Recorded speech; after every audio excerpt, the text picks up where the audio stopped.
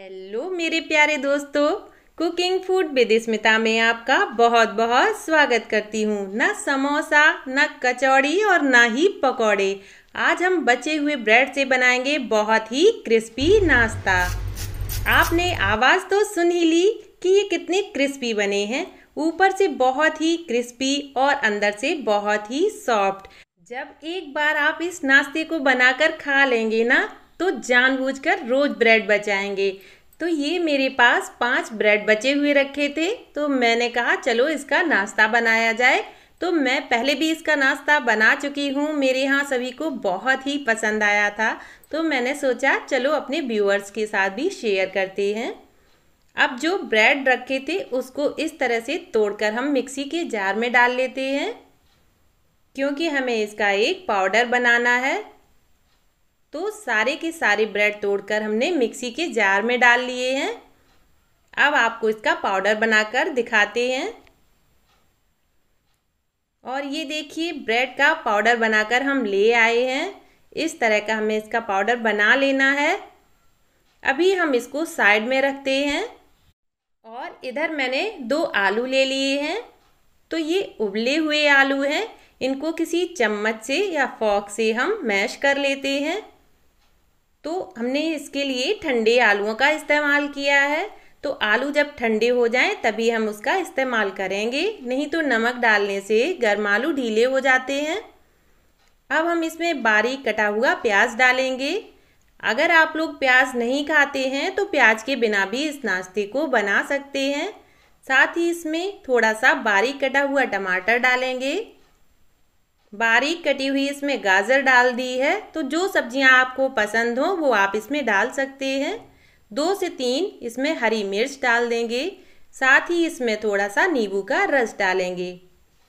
नींबू का रस डालने से ये बहुत ही टेस्टी बनता है। एक चम्मच इसमें धनिया पाउडर डालेंगे। थोड़ा सा लाल मिर्ची का पाउडर डाल दिया है। साथ ही इसमें एक चम्मच चाट मसाला डालेंगे।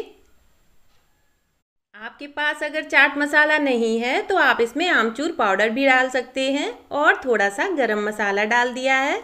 स्वादानुसार इसमें नमक डालेंगे। आप अपनी पसंद के कुछ और भी मसाले इसमें डाल सकते हैं और अब इसमें बारीक कटी हुई धनिया पत्ती डाल दी है और इन सारी चीज़ों को अब हमें मिक्स कर लेना है। ये आलू मसाला बहुत ही चटपटा बनकर तैयार होगा। अगर आप बच्चों के लिए बना रहे हैं तो कम मिर्च का इस्तेमाल करिएगा।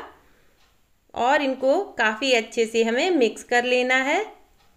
आप अपनी पसंद की और भी सब्जियों का इसमें इस्तेमाल कर सकते हैं, जिससे ये नाश्ता बहुत ही हेल्दी बनेगा। अब जो ब्रेड क्रम्स करके रखा था ना हमने, उसका आधा हिस्सा हम इसमें डाल लेंगे और आधा अभी हम बचा कर रखेंगे। इसका हम बाद में इस्तेमाल करेंगे। और ब्रेड क्रम्स आलू को मिक्स कर लेते हैं, जब तक कि ये अच्छे से मिक्स ना हो जाए। और इस तरह से हमने आलू और ब्रेड को काफ़ी अच्छे से मिक्स कर लिया है। सारी चीज़ें बहुत ही अच्छे से घुल मिल चुकी हैं। अब इस मिक्सचर में अच्छी सी बाइंडिंग आ जाए। इसके लिए दो चम्मच कॉर्न फ्लोर डाला है। तो अगर आपके पास कॉर्न फ्लोर नहीं है तो आप इसमें दो चम्मच अरारोट डाल सकते हैं, या दो चम्मच ही आप इसमें चावल का आटा डाल देंगे तो बिल्कुल परफेक्ट इसका मिक्सचर बनकर तैयार हो जाएगा। और अब इसको भी आलूओं के साथ मिक्स कर लेंगे, और देखिए कितना अच्छे से डो बनकर तैयार हो चुका है। अभी हम इसको साइड में रखेंगे, और एक कटोरी ले ली है, इसमें एक चम्मच हम मैदा डालेंगे। और इसमें थोड़ा सा नमक डाल देंगे और इसका एक घोल बनाकर तैयार करेंगे। तो पानी थोड़ा थोड़ा करके ही डालिएगा, जिससे इसमें गुठलियाँ ना बने। और इसका एक हम पतला सा घोल बनाकर तैयार करेंगे। बिल्कुल इस तरह का हमें इसका घोल बनाकर तैयार कर लेना है। इसकी कंसिस्टेंसी इस तरह की होनी चाहिए। अब हाथों में थोड़ा सा तेल लगाएँगे और जो मिक्सचर बनाकर रखा है इसमें से हम जितनी रोटियों के लिए लोई लेते हैं ना, उतनी बड़ी लोई ले लेंगे।